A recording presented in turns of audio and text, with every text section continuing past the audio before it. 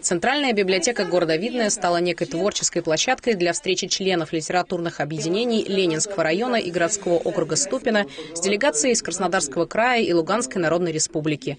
Мероприятие состоялось в рамках международного фестиваля «Пульсы духовного единства». На протяжении многих лет Московская областная организация Союза писателей России поддерживает дружеские отношения с поэтами и прозаиками из разных стран мира. Именно поэтому в свое 20-летие появилась идея совместного литературно-музыкального фестиваля. Название самого фестиваля «Пульс духовного единства». Мы думали, как назвать, все какие-то получались банальные, не такие названия. Это нам подарил наш руководитель, заслуженный работник культуры, председатель нашей подмосковной писательской организации Лев Константинович Котюков. Так родился и фестиваль «Пульс духовного единства», и э, книга с одноименным названием. Мы едины, русский мир един, и нас объединяет том числе и прежде всего поэзия. Поэзия – это такая молитва сердца. В начале творческой встречи за большой вклад в культуру Ленинского района членам литературного объединения имени Филиппа Шкулева вручили юбилейные медали. А после хозяева фестиваля во главе с Алексеем Зименковым представили несколько своих книг. 700 страниц о тысячелетней истории э, Видновского края, значит, 90-летней истории Ленинского района и 300-летней истории вот этого поселения, которое сначала было видное, э, усадьба, затем дачный поселок, затем рабочий поселок и, наконец, э, город, славный город Видное.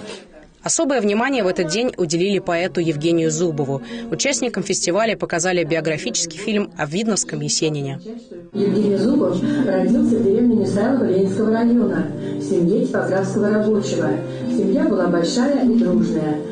На творческой встрече прозвучало много личных стихотворений. Наталья Власова поделилась со слушателями одним из самых своих любимых.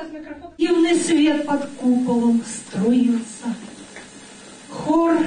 О вечной радости вещал. Не карал Господь и не сердился, а прощал, прощал, прощал. Представители от Луганской Народной Республики и Краснодарского края тоже не остались в стороне. Они не только читали поэтические строки, но и пели песни собственного сочинения.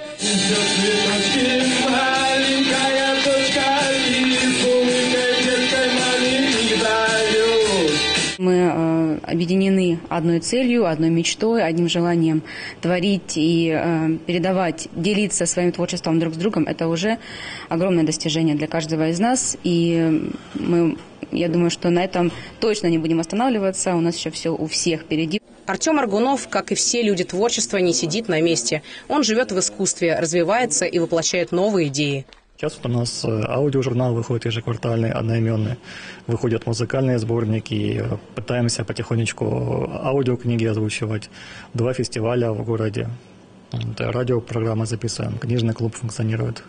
В завершении творческой встречи участники литературных объединений поделились друг с другом теплыми впечатлениями и обменялись памятными подарками. Анастасия Воронина, Александр Логинов, Елена Кошелева. Видное ТВ.